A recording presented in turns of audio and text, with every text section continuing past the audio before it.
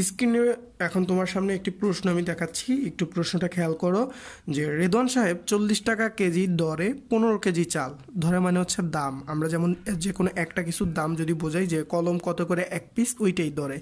ওই এক পিসের যে দরে বল মানে মূল্য ওটাকে দর বলে।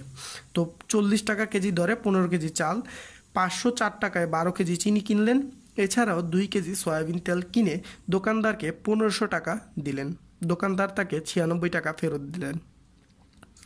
তো কথা প্রশ্ন বলছে, তিনি মোট কত টাকার জিনিস কিনলেন?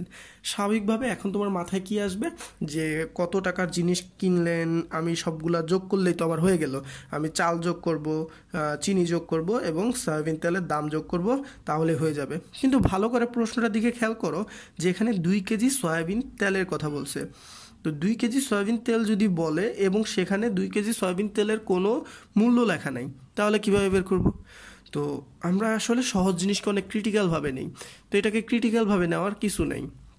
যেমন তুমি যখন অঙ্কটা করবা, তখন এই যে দুই নং প্রশ্নের উত্তর লিখব আমি, যেহেতু এটা আমাদের দ্বিতীয় প্রশ্ন ছিল, দুই নং প্রশ্নের উত্তর লেখে লিখব হচ্ছে ক। রেদওয়ান সাহেব দোকানদারকে দিলেন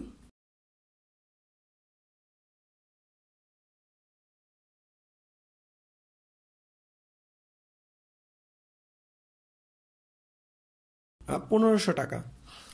দোকানদার তাকে ফেরত দিলেন কত?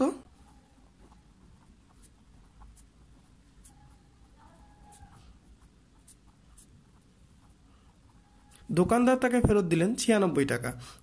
এখন তুমি বোঝো, তুমি কোনো দোকানে গেছো, সেখানে যে পাঁচশো টাকা নোট দিছো, সে তোমাকে দশ টাকা রিটার্ন দিছে। তাহলে তুমি তার দোকান থেকে কত টাকার জিনিস কিনছো?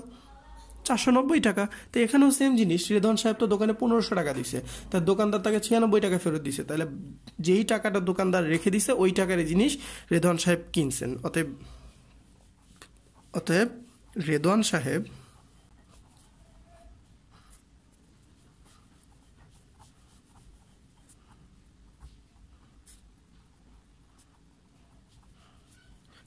রেদওয়ান সাহেব মোট জিনিস কিনলেন চোদ্দোশো চার টাকার।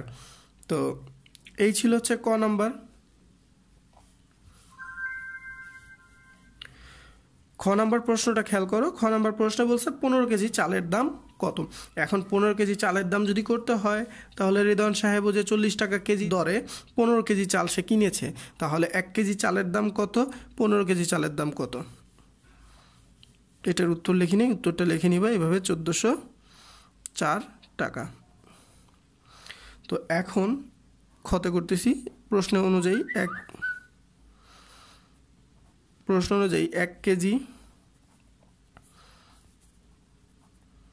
চালের দাম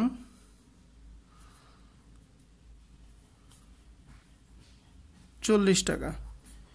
সুতরাং পনেরো কেজি চালের দাম চল্লিশ গুণন পনেরো টাকা, কারণ পনেরো কেজি চালের দাম অনেক বেশি হবে আগের থেকে। তো এটা তুমি যদি গুণ করো শূন্য শূন্য বসাবা, চার পনেরো ষাট, ছয়শো টাকা। উত্তর?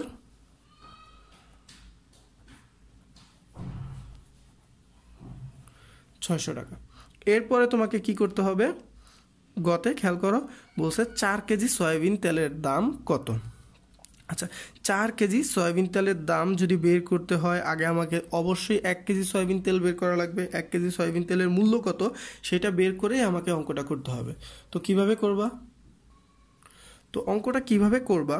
সেটার জন্য আগে আমি একটা জিনিস তোমাকে রাফে দেখাই বা তুমি একটু বুঝে নাও। যে সে চোদ্দোশো চার টাকার কিন্তু মোট জিনিস কিনছে। সেটা আমরা কতে পাইছি। তিনি মোট জিনিস কিনছে কত টাকার? চোদ্দোশো চার টাকা। এইখানে সে মোট কী কী কিনছে? সে চিনি কিনছে, সে চাল কিনছে এবং সে দুই কেজি সয়াবিন তেলও কিনছে। নাকি? সয়াবিন তেল। এখন চিনির দাম হচ্ছে পাঁচশো চার টাকায়। সে বারো কেজি চিনি কিনছে। আর চালের দাম আমরা খতে পাইছি কত? ছয়শো টাকা। কিন্তু সয়াবিন তেলের মূল্যটা আমরা পাই নাই। এখন খেয়াল করো, তুমি মোট জিনিস কিনছো চোদ্দোশো চার টাকা, তার মধ্যে চিনি এত টাকা, চাল এত টাকা, তাহলে সয়াবিন তেল কত? চিনি আর চাল যোগ করব, এরপরে চোদ্দোশো চার টাকা থেকে মানে কত টাকা জিনিস কিনছি সেখান থেকে বিয়োগ করব। বিয়োগ করলে আমি সয়াবিন তেলের মূল্য পাবো। ওই সয়াবিন তেলের মূল্যটা হবে কত কেজির? দুই কেজির। তাইলে সয়াবিন তেলের যে মূল্য পাবো, সেই মূল্যকে তুমি যদি দুই দিয়ে ভাগ করো, তাহলে কত হবে? এক কেজি সয়াবিন তেলের দাম পাবো। ওই এক কেজির সাথে চার কেজি গুণ করলে চার কেজি সয়াবিন তেলের দাম আমরা পেয়ে যাব। তো এটা হচ্ছে আমি জাস্ট সংক্ষিপ্ত আকারে তোমাকে বোঝালাম। তো এখন পুরোটা একটু খেয়াল করো যে পুরোটা কীভাবে করবা। পুরোটা করার জন্য গ যে মোট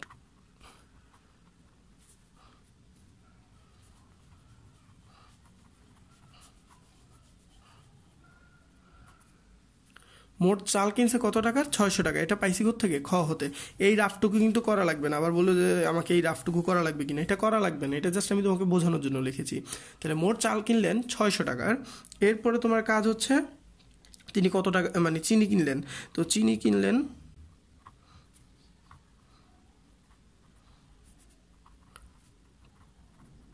চিনি কিনলেন পাঁচশো চার টাকার। এটা কোথাও দেওয়া নেই, এটা প্রশ্নেই দেওয়া আছে। আর সয়াবিন তেল কত কিনছে সেটা তো আমরা জানি না। তাহলে এই দুইটা যদি যোগ করি, সুতরাং মোট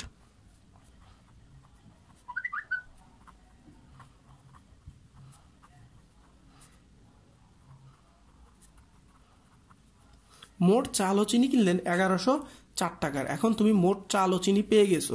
তাহলে এখন তিনি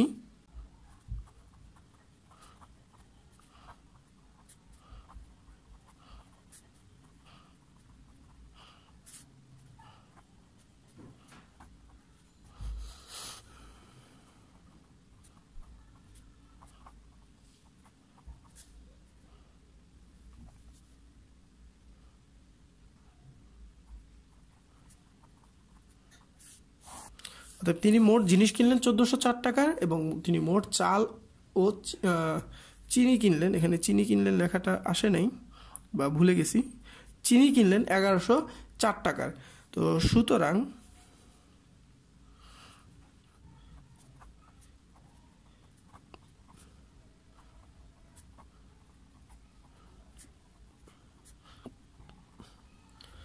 সুতরাং তিনি সয়াবিন তেল কিনলেন তিনশো টাকার। এখন এই সয়াবিন তেল কিন্তু দুই কেজি সয়াবিন। অর্থাৎ এখন কিন্তু অঙ্ক প্রায় শেষ। এই যে সয়াবিন তেলটা, আমরা কি লিখব? এখন দুই কেজি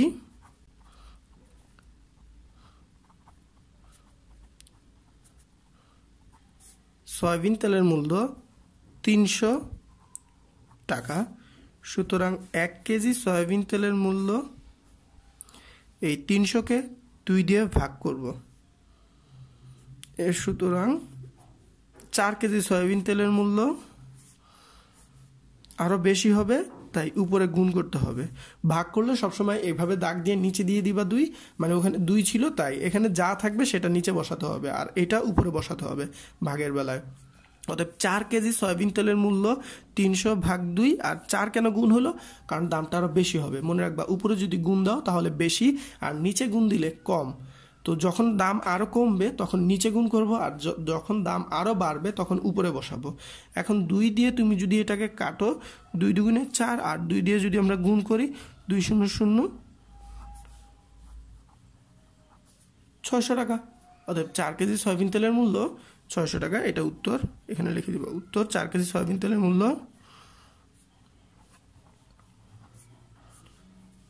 ছয়শো টাকা। এই ছিল হচ্ছে দুই নম্বর সৃজনশীল। এখন তুমি তিন নম্বর সৃজনশীলটা দেখে নাও। আমাদের বাম পাশে দেখাচ্ছে, ওখানে ক্লিক করে তুমি তিন নম্বর সৃজনশীলটা দেখে নিতে পারো।